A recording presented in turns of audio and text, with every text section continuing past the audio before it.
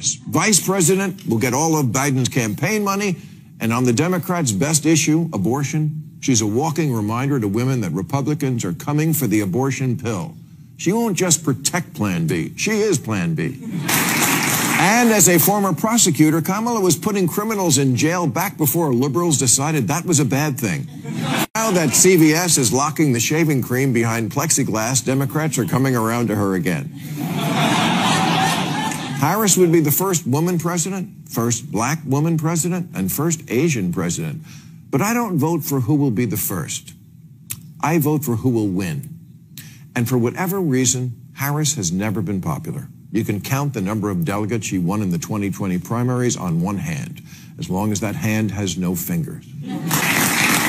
In three years as vice president, she's been quieter than an electric car. And and like an electric car, your MAGA uncle can't explain why she fills him with homicidal rage.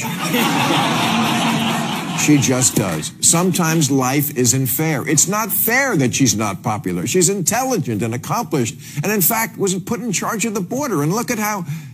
Okay, bad example.